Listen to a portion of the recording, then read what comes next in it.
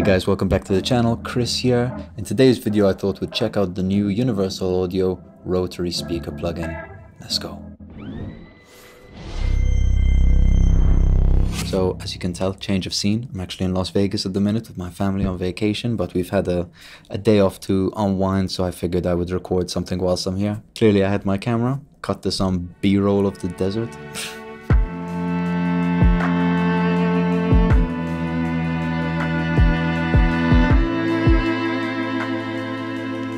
But yeah, whilst I was here, I realized Universal Audio have dropped a new plugin, so I figured, let's check it out. Obviously, I don't have any of the studio stuff here, but it doesn't mean we can't check it out. We've got some loops, we've got some Logic loops, and we've got some Splice loops, and we can just dive in and see what it's like. So this is the plugin, classic Universal Audio, nice GUI. Normally you don't tend to find rotary style plugins external from a organ plugin, you know, and this I believe is taken from their B3 plugin that they put out earlier last year. But it sounded so good that I guess they decided to put it separate, which is cool because at the same time it allows you to use it on other items which normally you wouldn't put a rotary speaker on. So I figured let's dive in and see what funky sounds we can get out of this. Okay, so to start us off, I've just got a nice little organ loop. I've turned off the rotary cabinet on the actual plugin so you can hear what this is doing. Let's just quickly hear it without. Nice organ sound, you're used to it. Let's get this on.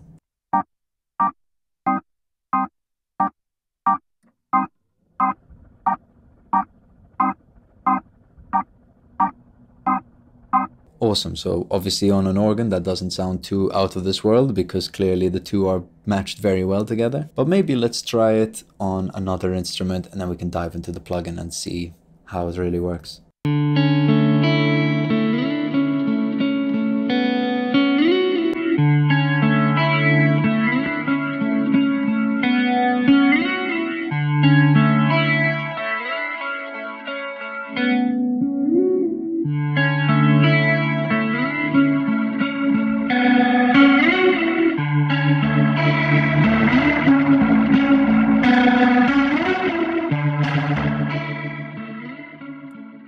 Lovely, so you can hear it's got this awesome chorus effect. Diving into it, I can see you've got this horn and this drum balance. So you're picking the balance between the top and the bottom section of the cabinet. You can actually kind of use it as a filter, you know, if you wanted that, that effect, because the drum is clearly a lot darker than the horn, which is kind of mainly top end. So using that, we probably even automate this balance, but let's quickly check out the different variations we can get from this plugin.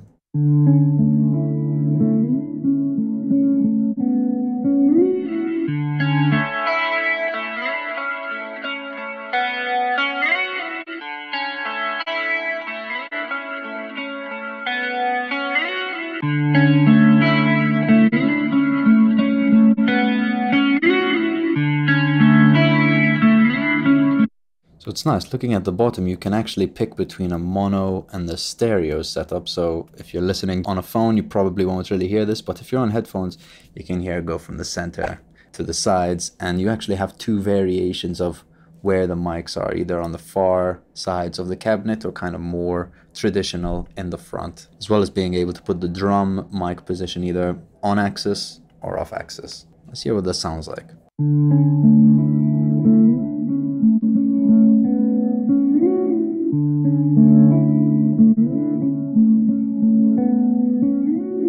Very subtle, maybe you hear a bit more of that kind of tremolo effect going on, but there you go. Let's try a different sound. All right, so we've got some piano here. Let's listen to that.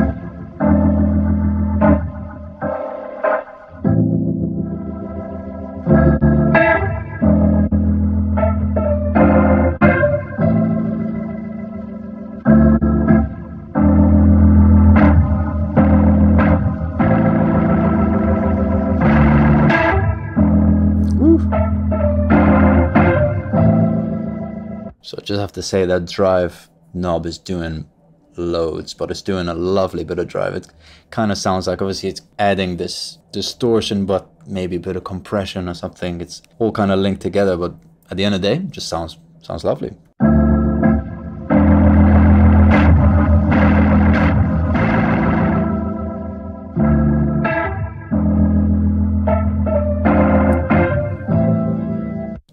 Hear the click when you change between the speeds whilst it's playing anyway. Here obviously you've got some acceleration, deceleration, that would just be the speeds as you change between this, how quickly it speeds up or slows down. But besides that, not too much else going on. Maybe we'll flick through some presets, try a couple different elements and see what we get. I've actually got a vocal here that I'd like to try on. Again, maybe not your first go-to option when you're trying out this plugin, but let's see what it gives us. Keeping you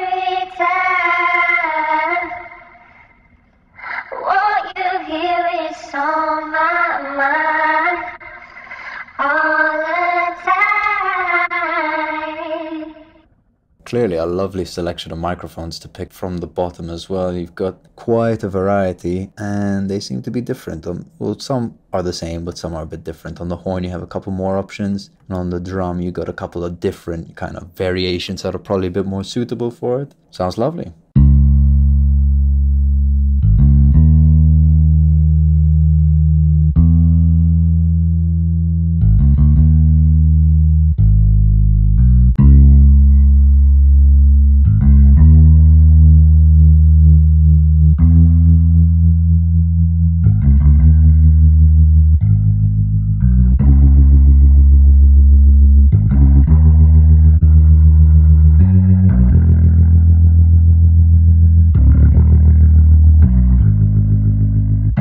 Wow, on this one in particular, you can really hear the difference between kind of the slow and fast, and as well as the kind of mono and stereo variation. I think something for this I would prefer personally a mono, but you know, it's a great way of making something mono stereo and making it fit on kind of both sides of your headphones as opposed to just sitting in the middle. Sounds lovely though.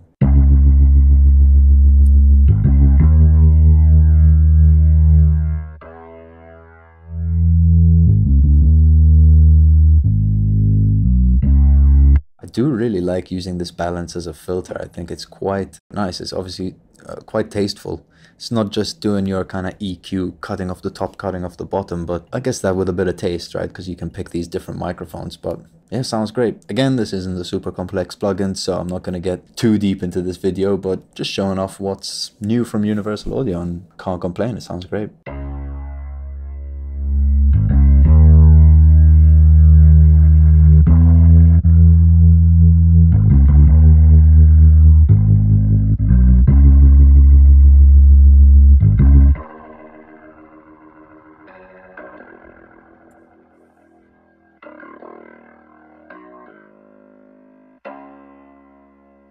Just try flick through some presets, see where we go.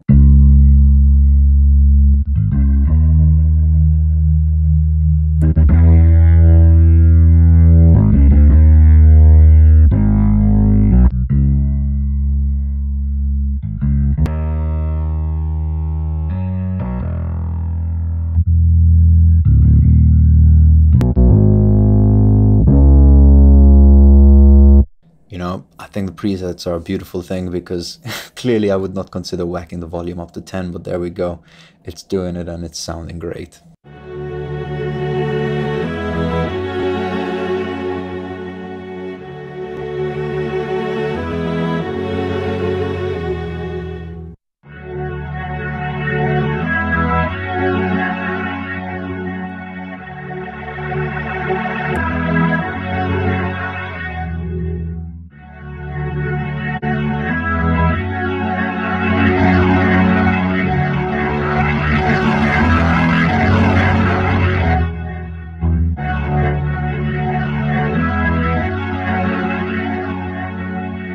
Interesting. I didn't realize the volume clearly goes into the drive, so one affects the other. So you can have the drive cranked and the volume quite low and then get a mild effect, or I can have them both cranked, or maybe one and then the other not so much, and you know, it will affect it accordingly. But yeah, it's good. Sounds great.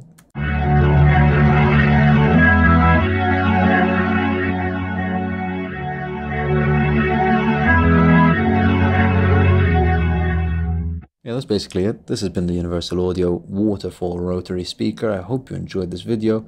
If you did, please uh, give us a like and uh, subscribe and all of that good stuff. This week was a bit of a gap because uh, there was a lot of things going on, but now we're going to go back onto schedule.